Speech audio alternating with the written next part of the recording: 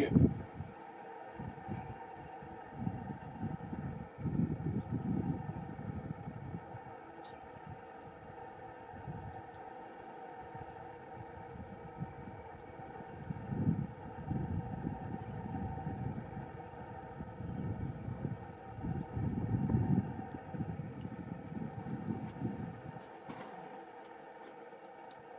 Um, railway bridge where we're staying was Mm-hmm. um, the first time I came is where I saw my first fish eagle there.